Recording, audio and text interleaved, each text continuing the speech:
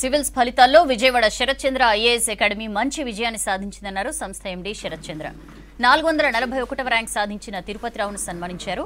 పద్నాలుగు మంది సివిల్స్ ఇంటర్వ్యూస్కు హాజరైతే ఇద్దరికి మంచి ర్యాంక్ వచ్చిందన్నారు శరత్ చంద్ర అకాడమీ కోచింగ్ తోనే సివిల్స్లో మంచి rank వచ్చిందన్నారు civils ranker Tirupati Rao Chandra IAS academy నుంచి మా దగ్గర ఉన్న స్టూడెంట్స్లో ఇద్దరికి సివిల్స్లో ఫైనల్ ర్యాంక్ వచ్చింది. Tirupati Rao four forty one rank వచ్చింది. ఇతనికి ఐఏఎస్ వచ్చే అవకాశం ఉంది. అలాగే Gautami three hundred seventeen rank వచ్చింది.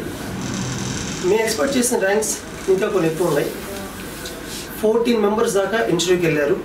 అయితే కొంతమంది దగ్గరలో చిన్న గ్యాప్లో మిస్ అయి మిస్ అయి ఉండొచ్చు. ఫిలిమ్స్ రాసే విధానం కానీ మెయిన్స్ ఆన్సర్ రైటింగ్ స్కిల్ కానీ ఇంటర్వ్యూలో వాళ్ళు వ్యక్తపరిచే స్కిల్ కానీ వీటిని బిల్డప్ చేయడం కోసం ప్రతి స్టూడెంట్ మీద ఇండివిజువల్గా ఫోకస్ చేయడం జరుగుతుంది. చాలా హ్యాపీగా ఉంది. ఎందుకంటే ఇంతకు ముందు కూడా నేను చాలాసార్లు సివిల్ సర్వీస్ అపేర్ అయ్యాను. ఇదివరకు ఇంటర్వ్యూ వరకు వెళ్ళాను. కానీ ఫైనల్ లిస్ట్లో పేరు ఉండేది కదా. ప్రతిసారి త్రుట్లో తప్పిపోవడం జరిగింది. ఇంతకు ముందు జరిగిన అటెంప్ట్స్లో కానీ లాస్ట్ ఇయర్ ఇక్కడ శరత్ చంద్ర ఐఏఎస్ అకాడమీలో శరత్ సారు జిఎస్కి కానీ లేదంటే ప్రిలిమ్స్కి కానీ ఇంటర్వ్యూకి కానీ మంచి గైడెన్స్ ఇస్తానని గైడెన్స్ ఇస్తారని తెలిసింది నాకు. సో నేను లాస్ట్ ఇయర్ ఫైనల్ రిజల్ట్ రాగానే ఫైనలిస్ట్లో పేరు పేరు లేకపోవడం చూసి వెంటనే ఇక్కడికి వచ్చేసాను నేను.